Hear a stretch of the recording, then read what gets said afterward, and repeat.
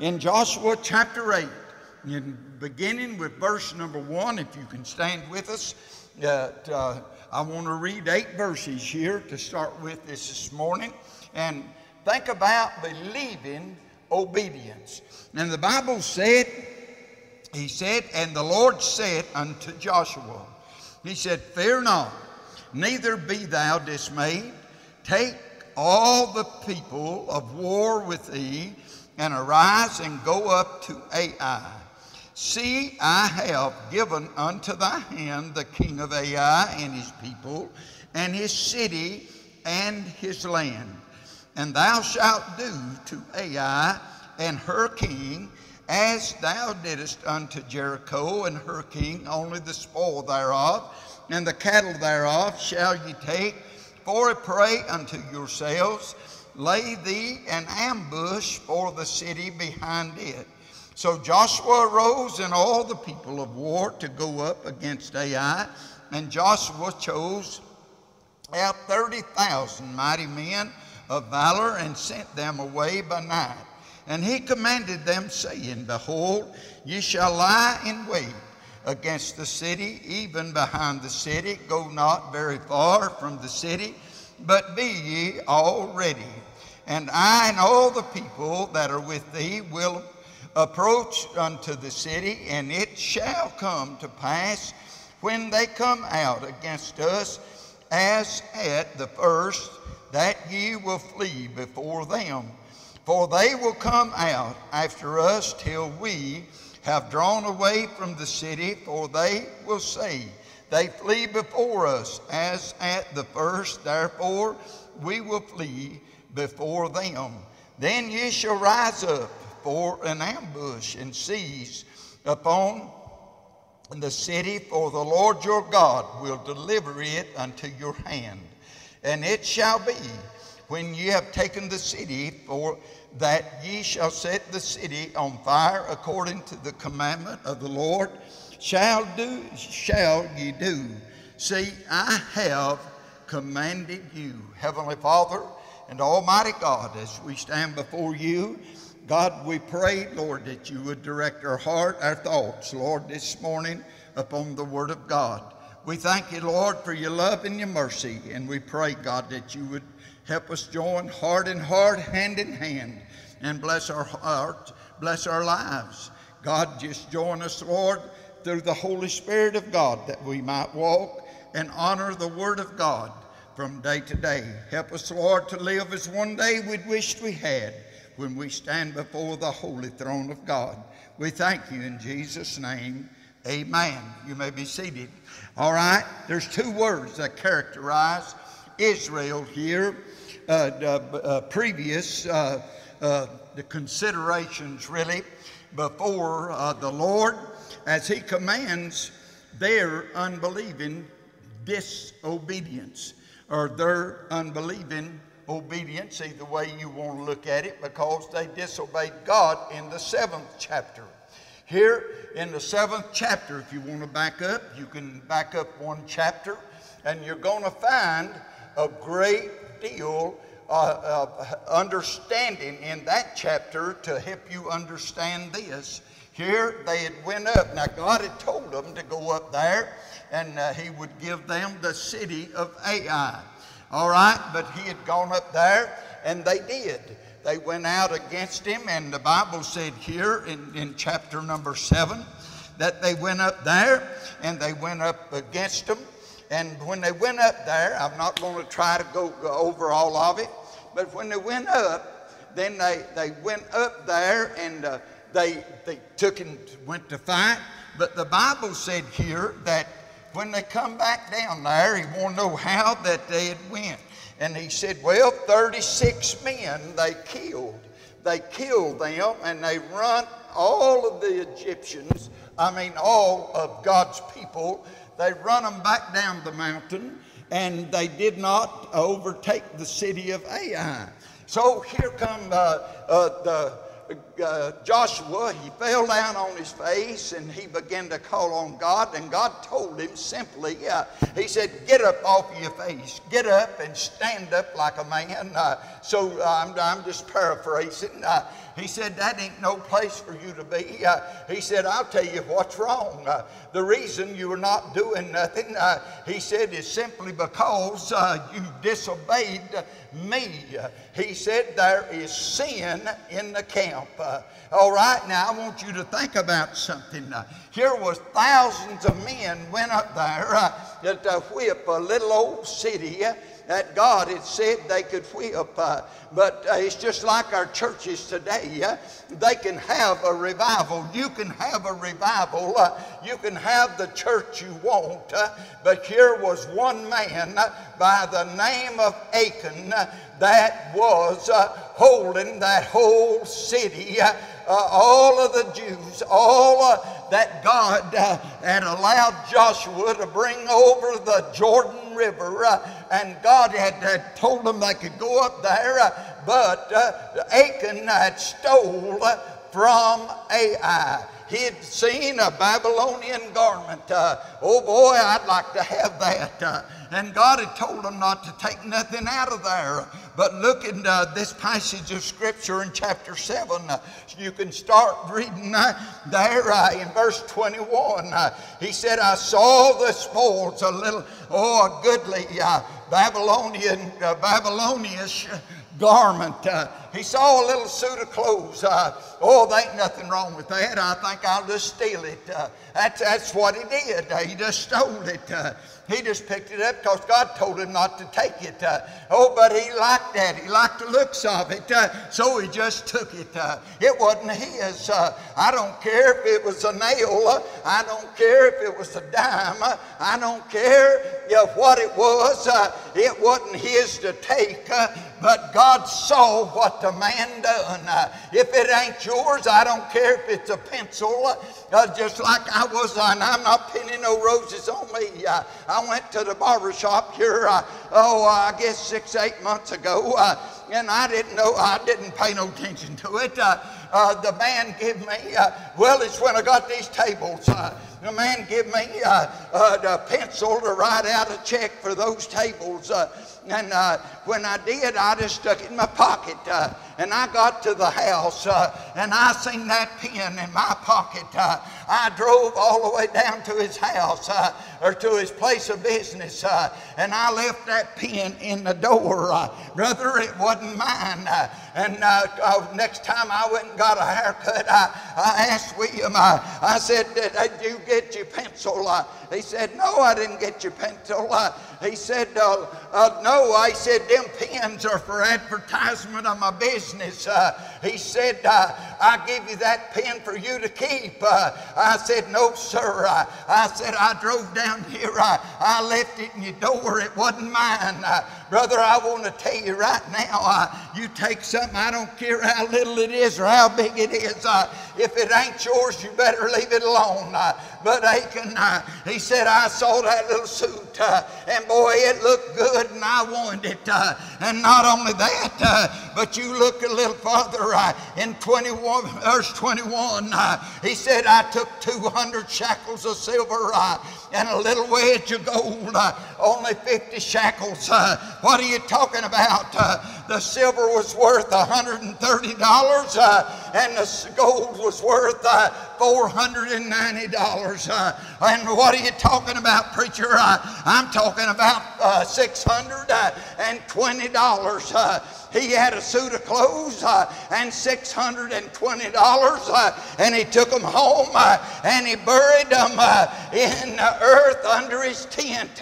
Brother, you can't bury sin so deep that God don't know where it's at brother, uh, it not only cost him uh, all of his family, look what it cost him 36 men. Uh, died that day, uh, and he was to blame for it. Uh, but not only that, uh, but the thing about it was uh, Ai was still standing, uh, and here the uh, old preacher Joshua came down and he said, Take him take his sons, his daughters, all of his cattle, his mules, take everything he's got, take them outside, brother, take them outside the church, outside the, the, the congregation, uh, and brother, stone them to death and pile stones on them, brother, stone them and kill them and then burn them.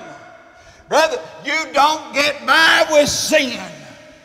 Brother, God knows what's going on in your life. But let's get to the message here now. They went up against Ai, and here, now God said, Joshua, Joshua, I want you to get this crowd straightened out now. I want you to go up against Ai. I'm talking about believing obedience. He said, now listen to verse 1. Uh, he said here, verse 1 and 2, uh, here was coming comfort now from the Lord. Why? Because the preacher man, uh, because Joshua said, uh, I got news from the Lord. he said, now, what is he saying? he said in verse number 8, he said, uh, he said, and the Lord said unto Joshua, he didn't go to the people, uh, he went to the man of God, uh, and he said, fear not, uh, neither be thou dismayed. Uh, but notice what he said. Uh, he said, take all, take all he said, uh, of the people of war. Uh, in other words, take them uh, that'll stand for God. Uh, take them that'll stand for me. Uh, and he said, uh, he said, and arise and go up to Ai. But what was he saying? He said, take that to every one of them that's willing to fight, that's willing to stand for me. and he said, I have given unto thee the hand, and into thy hand the king of Ai and, uh, and his people and his city and his land. I'm talking about believing obedience. Brother, what is he talking about? There's a lack of faith in our land today. There's a lack, lack of faith leads to disobedience. You've got to believe God's going to do something before God will ever do it. You've got to have some faith. Uh, and not only that, comfort comes through God's promises. Comfort will come. Look down in verse number 11. I didn't read that far. But all the people, even the people of war that were with him, went up. Why? They believed God's man. He said they went up and they drew nigh and they came before the city and they pitched on the north side of Ai. Now there were a valley between them and Ai. You take there was a valley and there's two mountains. All right, fine. They just took one, one man's word. And the thing about it was, look down in verse number three, what he said. Choose out 30,000 mighty men. What is he doing? Here's a valley. And he said, You take part of that crowd. I'm not going to go into the, uh, the uh, numbers of men that he put, but you can read it for yourself. You put part of them to the north, you put part of them to the west, uh, you put part of them over here. Uh, and he said, Hey, they're all asleep. They don't know what's going on. My brother, uh, he said, uh, you, God's going to give them to give us the city. Brother, uh, he said they're all arresting. Uh, uh, brother, why? He said there's a valley between us and them. Uh, brother, that city uh, is sitting in there. Uh, but you listen to what he said. Comfort comes through the power of God. Look in verse number two. he said, And thou shalt do to Ai and her king uh, as thou didst unto Jericho. Uh, what is he talking about? Uh, six days you walk around. but, brother, listen. he said on that last day, uh, boy, you toot your horn uh, and the power of God's coming down. Uh, what are you talking about? brother, when, when it seems like it, everything's falling in, everything's caving in, and you got nowhere to go. Hallelujah to God, brother. That's when God comes in. that's when God can pick you up at your lowest point and God can give you comfort. And not only that, comfort comes through God's plan. God had a plan before he ever, ever talked to Joshua. See, God's got everything planned out for you. If you'll just believe it, look at verse 2 again. Only the spoil thereof and the cattle of thereof shall you take. Things were different here than it was down in Jericho. Listen, he said, The cattle you can take for yourselves, but lay thee an ambush for the city behind it. You don't take nothing in the city. You don't take nothing in it. But the cattle, look what he says you can take. You can, you can take nothing like Jericho. No, no, no. They couldn't take nothing out of Jericho. Cattle, mules, donkeys, nothing. You couldn't take nothing. But he said, only the spoil thereof, the cattle thereof, you shall take for yourselves, but lay thee an ambush behind it. Brother, go and God gives you something, brother. God will tell you what you need. God will show you what you need. God said in Philippians 4:19, He shall supply all your need according to His riches and glory. Brother, God, God's going to take care of His youngins. And not only that was the comfort of the Lord, but the thing about it is, it was a command not to the children of Israel, but it was a command to Joshua.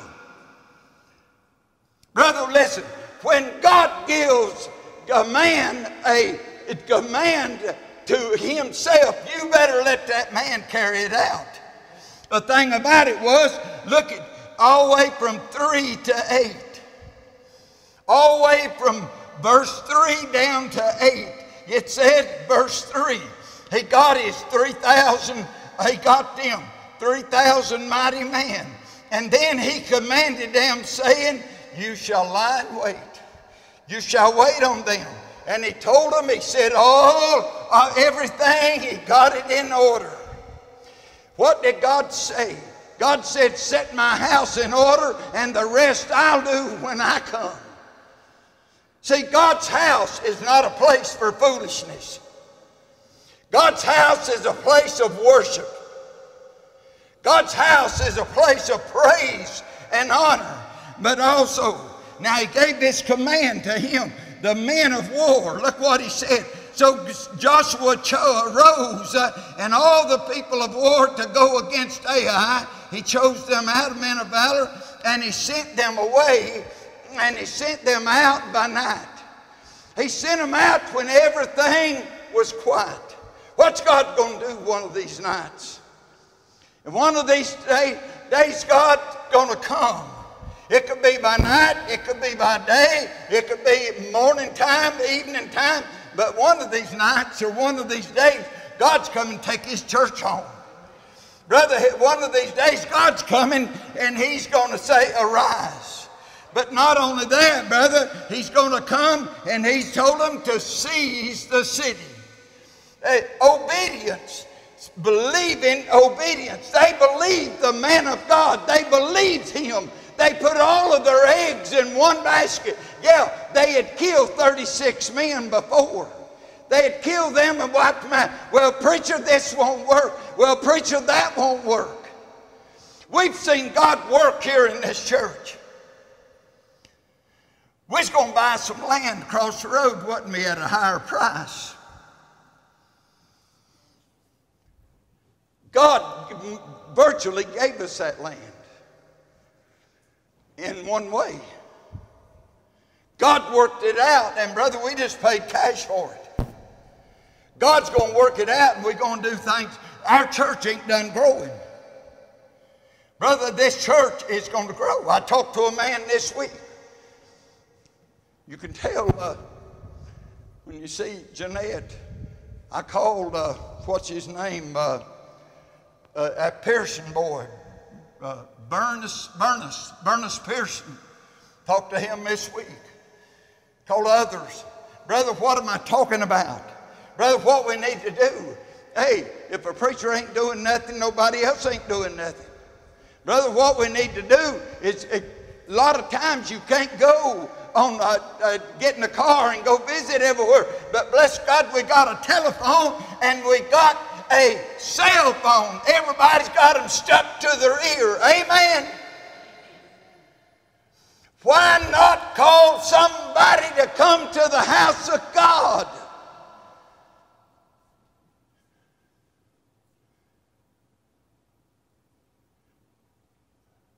Well, preacher, we just don't do that. I just ain't got time to dial them numbers to get somebody to come. That's a waste of time. I've got other people to call. Amen. Ain't that we're too busy doing other, uh, other people's business. Mm-mm. Number three. Now I want you to look at the conquest at Ai. Verse 9 on down. Joshua sent, Joshua therefore, he sent them forth. I ain't got time to read it all. But here, here it's went forward. I'm, on, I'm just going to tell you a little bit about it. All right, so at, at morning break, and that crowd looked out.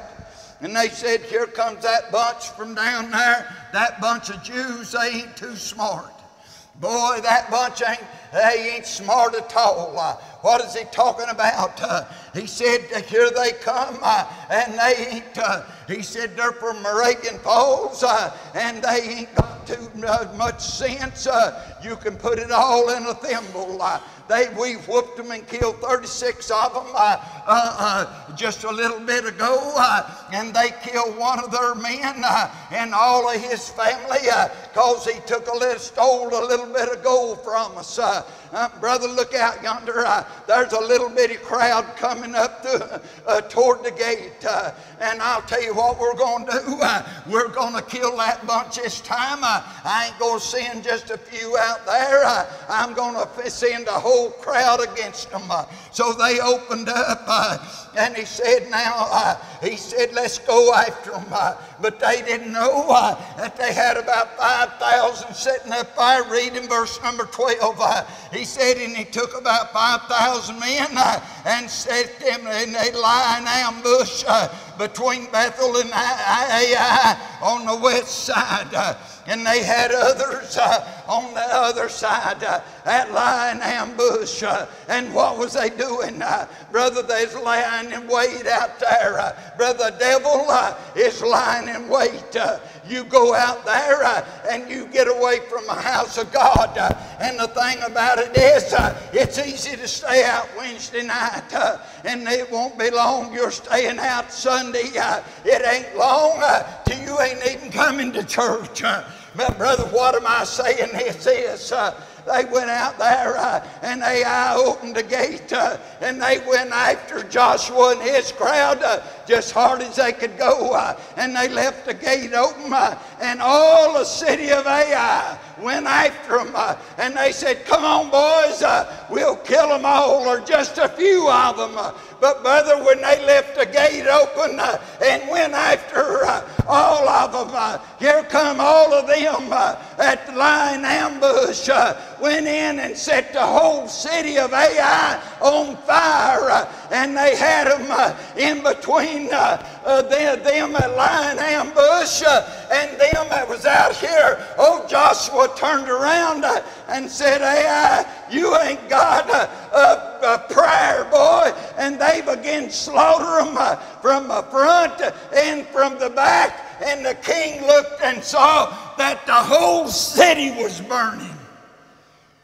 Does God have to kill you and take everything you've got before you wake up? He can do it.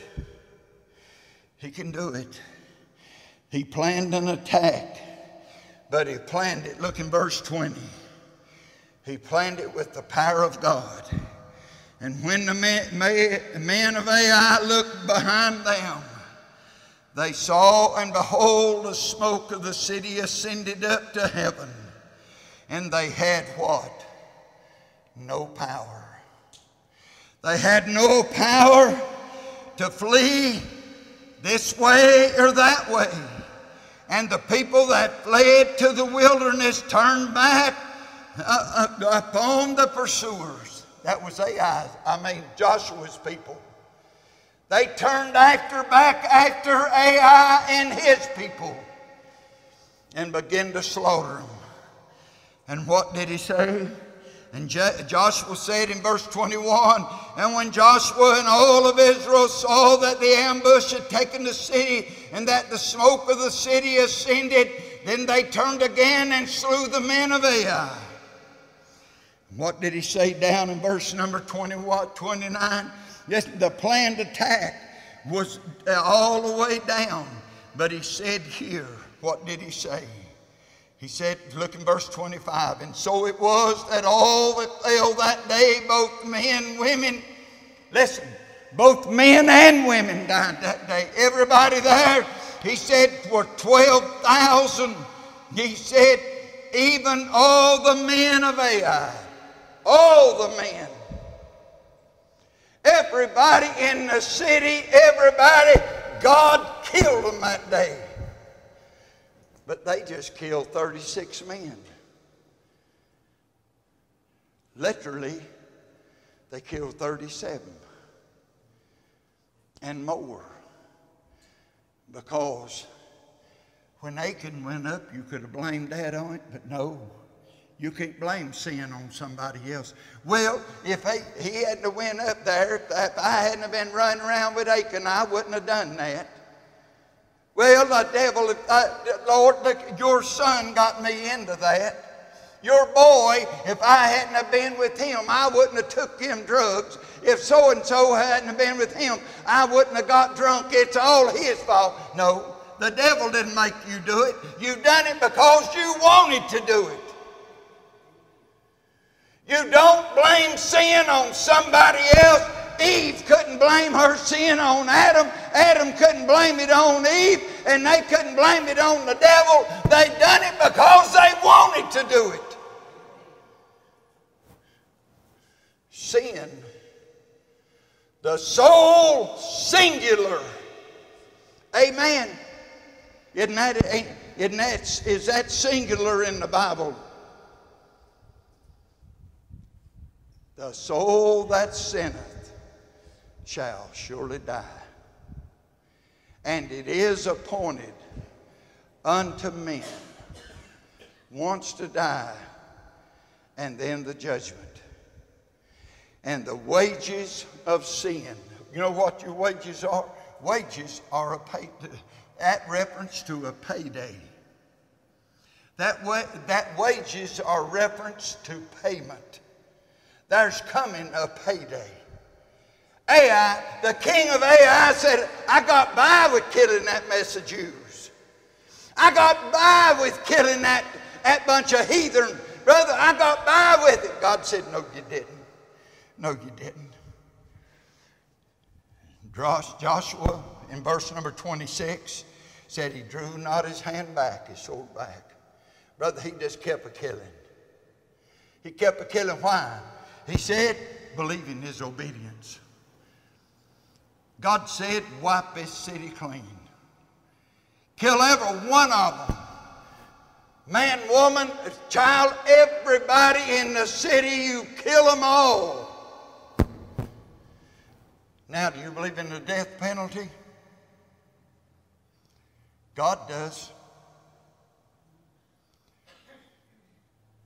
The soul that sinneth shall surely die. You can live like a devil. Don't you expect your children to be no better. They see mom and daddy fighting, squabbling, hitting, beating, slapping each other around. Don't you expect them to be no better?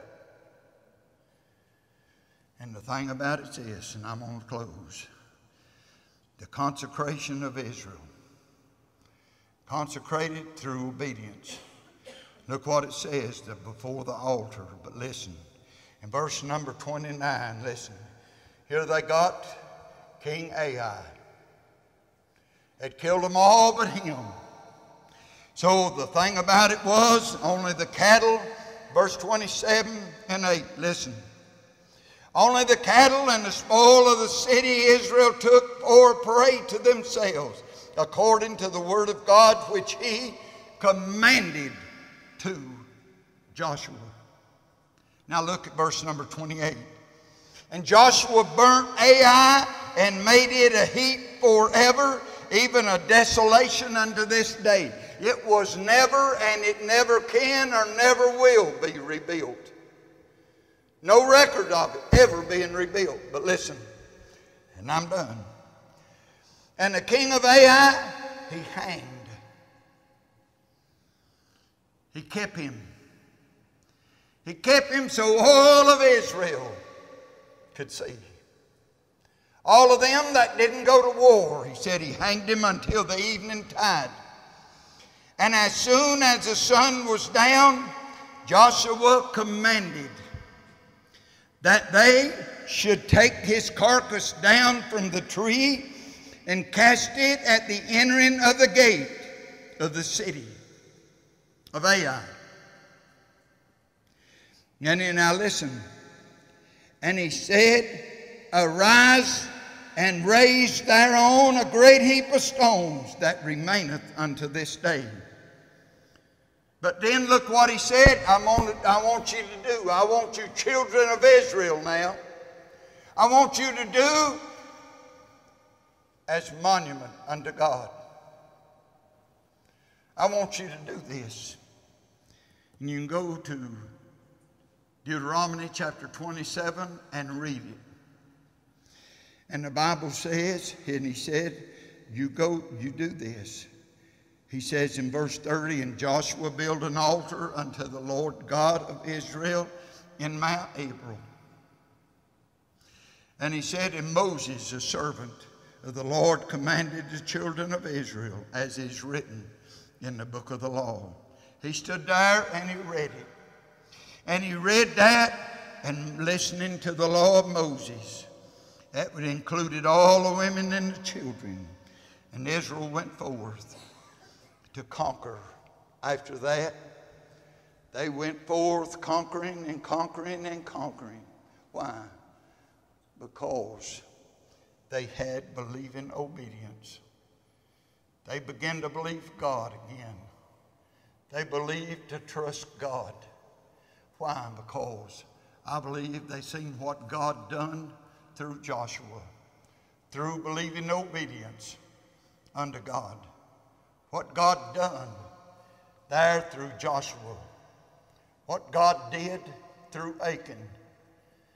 Yes, disobedience took Achan and all of his family through Joshua standing for the Word of God.